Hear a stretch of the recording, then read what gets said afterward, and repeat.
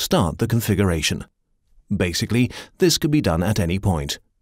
When the app starts, point 1 is automatically activated. Depending on which point you start with, the selection of the next point can be influenced by dependencies. This may result in restrictions in terms of layer thickness, indication and material. Restrictions are displayed with a grey background and cannot be selected.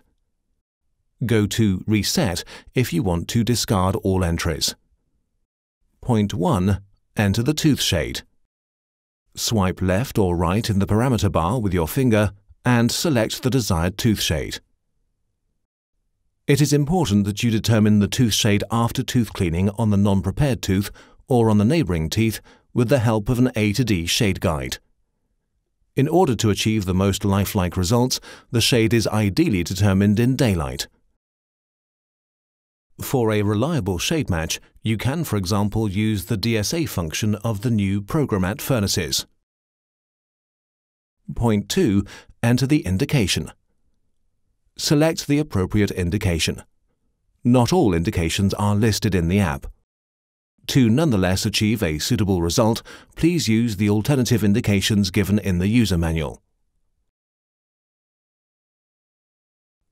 Point 3. Enter the die shade. Swipe left or right in the parameter bar with your finger to select the die shade. Select the desired shade. Determine the die shade with the IPS Natural Die Material Shade Guide on the most discolored area of the tooth stump. If you are undecided between two shades, always choose the darker one. If a metal core buildup is used, it's advisable to select the darkest die shade, ND9. For zirconium oxide abutments, select the brightest die shade, ND1. Point 4. Enter the layer thickness. Swipe left or right in the parameter bar with your finger to select the layer thickness of the restoration. Then select the desired layer thickness. You can determine the layer thickness either manually with calipers or digitally with the CAD software. Crowns, veneers and copings are measured centrally at the thinnest vestibular point. For inlays and onlays, measure the thinnest part in the occlusal area. Point 5 Enter the material. Select the desired material.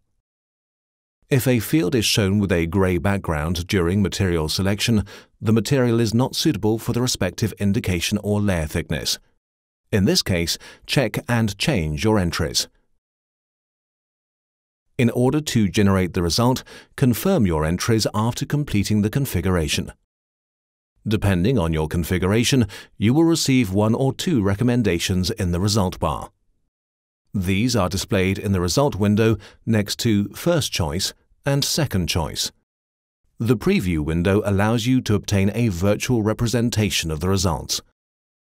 Go to the result bar and tap on the result that you want to see to display it in the Preview window. To compare the shades, go to the A to D Shade tab. Hold the Shade tab down and move it over the result. Depending on the indication, the result will be displayed as an anterior crown or shade tab. IPS e.max Shade Navigation app. So shade and translucency always match.